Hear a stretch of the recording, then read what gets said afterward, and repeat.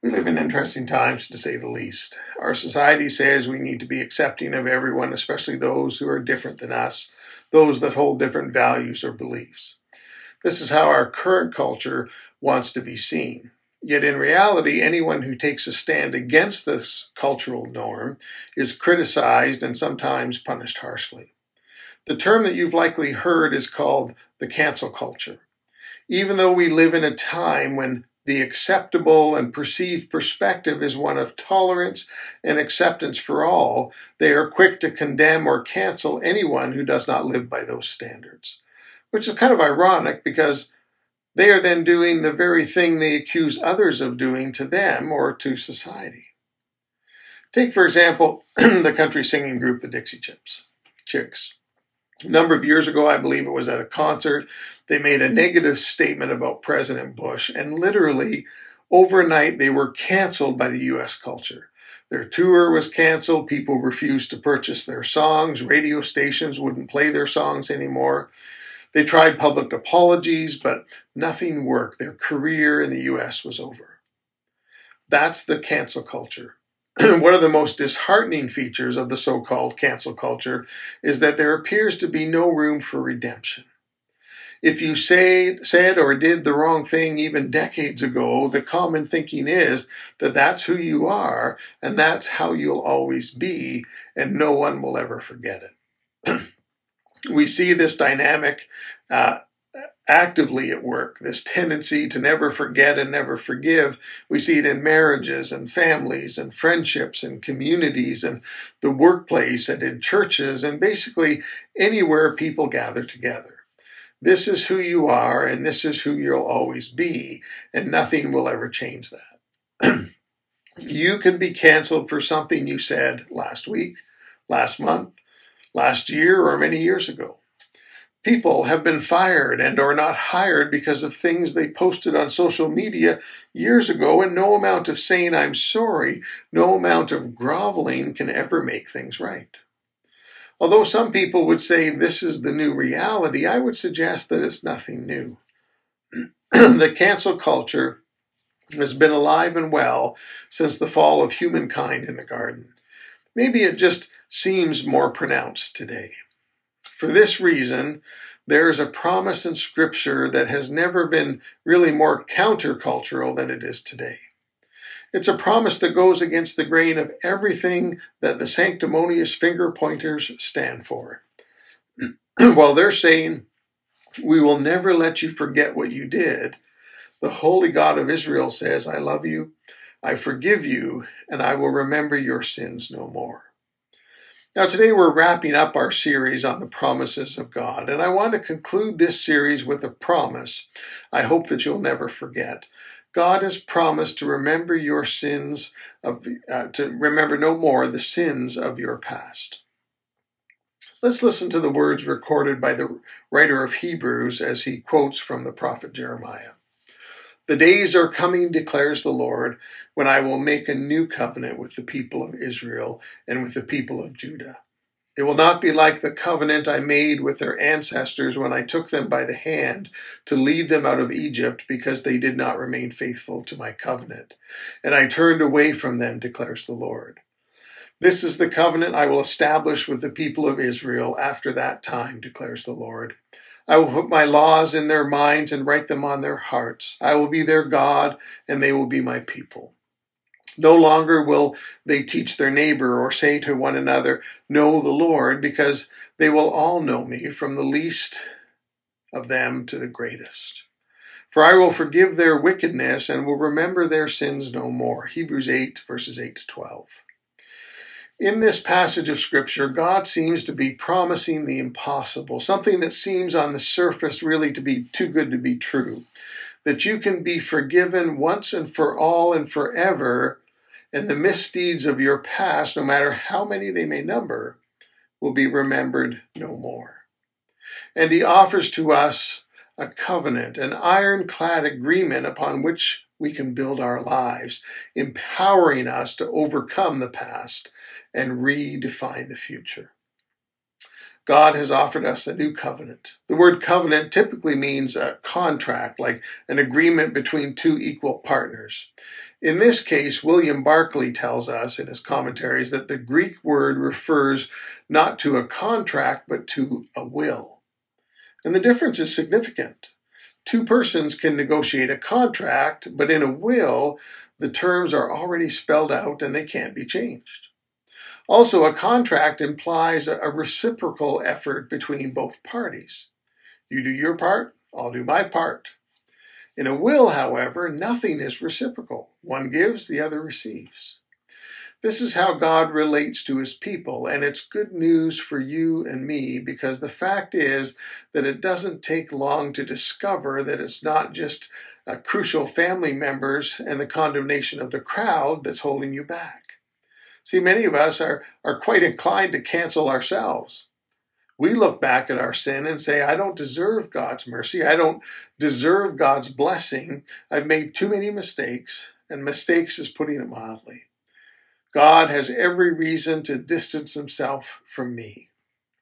There are people who believe this, and I'm here today to tell you that God has chosen specifically not to distance himself from you, but to draw you into his presence, to wash away your sin, and to make you holy once and for all and forever.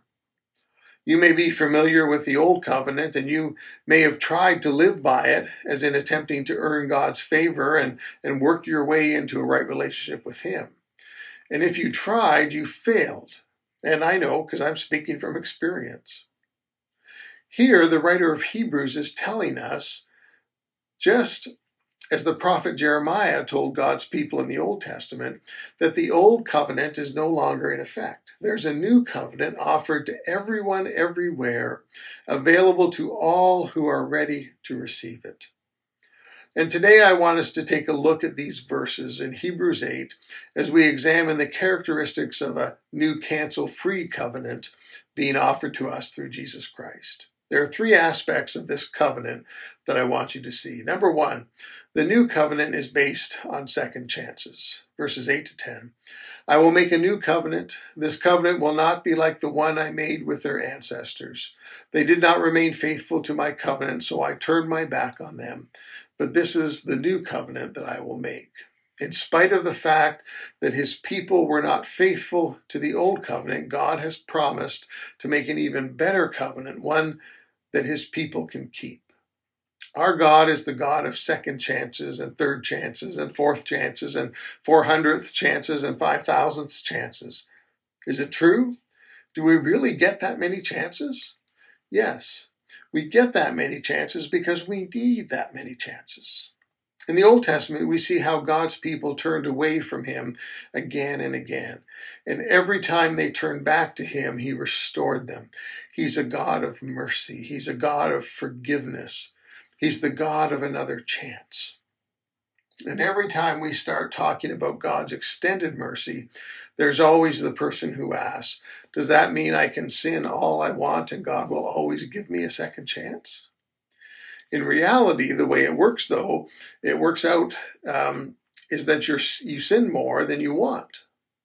That's because when you surrender your life to Jesus Christ and the Holy Spirit comes into your life, you become a new creation and God begins making changes in you. He begins the process of conforming you to the image of His Son. This doesn't happen overnight. I don't know how long the process takes. I can only say that it takes longer than 41 years, which is how long I've been a believer. What you'll discover is that you stumble a lot more than you want to. And what you'll discover is that falling flat on your face or foolishly wandering off the path doesn't uh, bring you nearly as much fulfillment as does walking in a close connection with Jesus Christ. When you make the decision to follow Christ, you inevitably discover that you sin more than you want to. You can become so frustrated with your own limitations that it'll lead you to despair. And really, it's at this point that you need to remember the basis of God's new covenant it's based on second chances.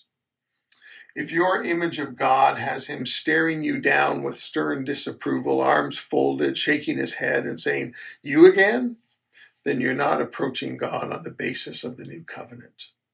The new covenant says, My people failed in the past, but I will not give up on them. I will give them another chance. This isn't about taking for granted God's mercy. It's about living in the, secure, the security of His love and acceptance. When you fall down, He wants you to try again. When you wander away, He wants you to come back. This is the basis of the new covenant. Secondly, the new covenant is based on a personal relationship. Verse 10 I will put my laws in their minds, and I will write them on their hearts, and I will be their God, and they will be my people. You know, I grew up in tobacco country when I was a teenager, and I made some pretty good money during those summers. I worked for the same farmer, and I would say that we became pretty good friends. I learned what his preferences were to the point that when he wasn't around and a decision needed to be made, I was usually able to say, you know, Henry, he'll want it done this way. And I think I was nearly always right. How did I know? Because we became friends. I knew him well. I knew how he liked to do things. So I was able to make decisions because I knew how he would want the situation resolved, because I knew him. We were friends.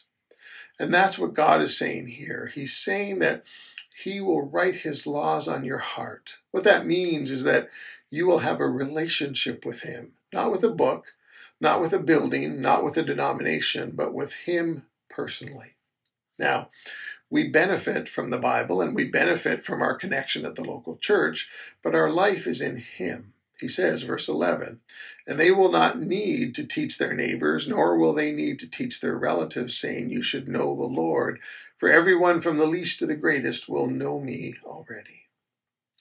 So is he saying that we don't need teachers and preachers? No.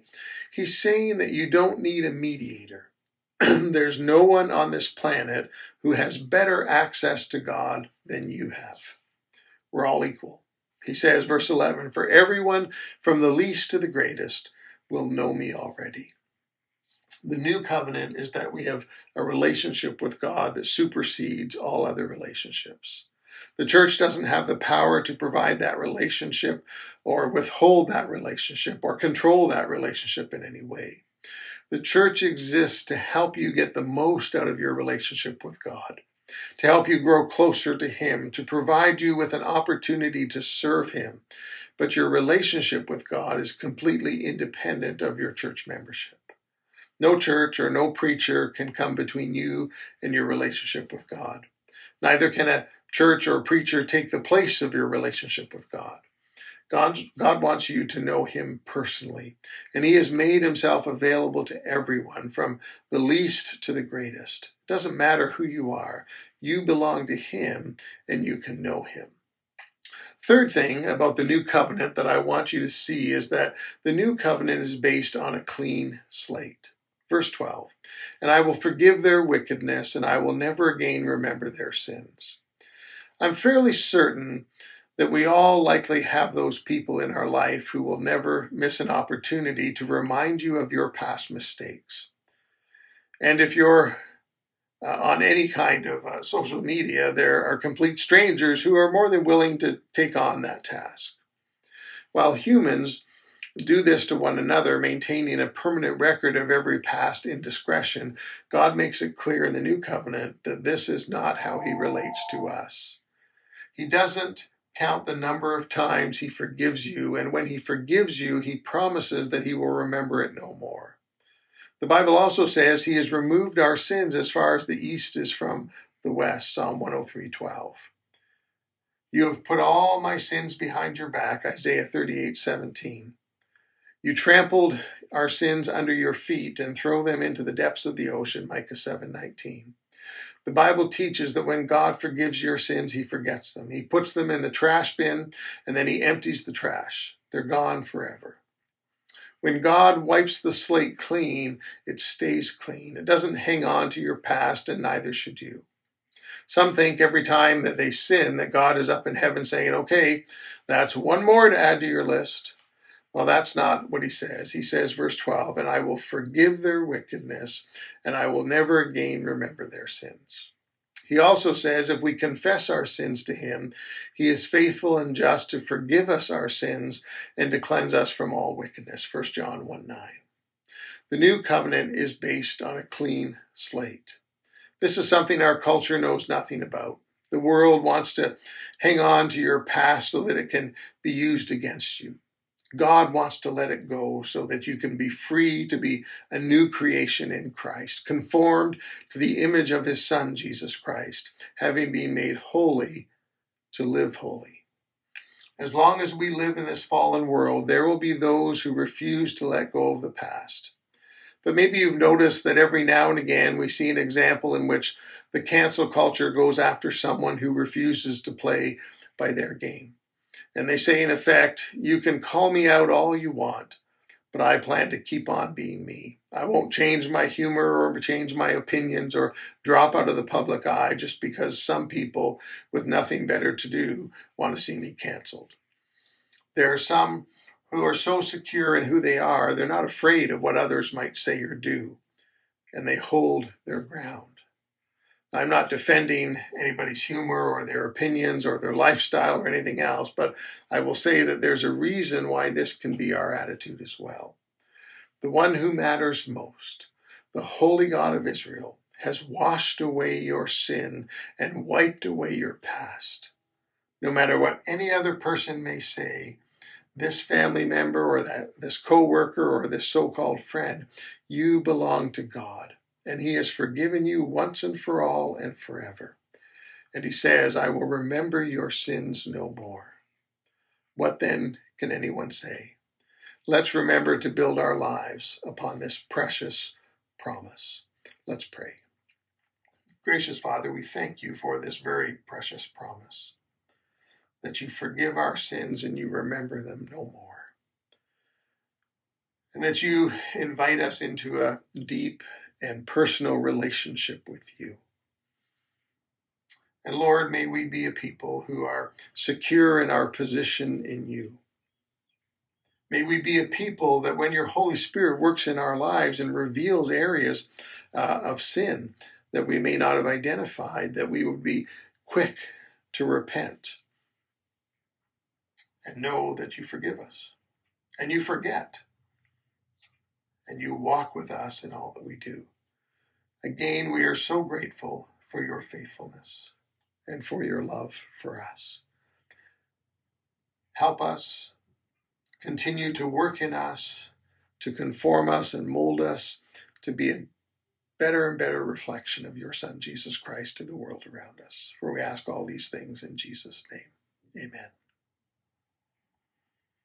Amen.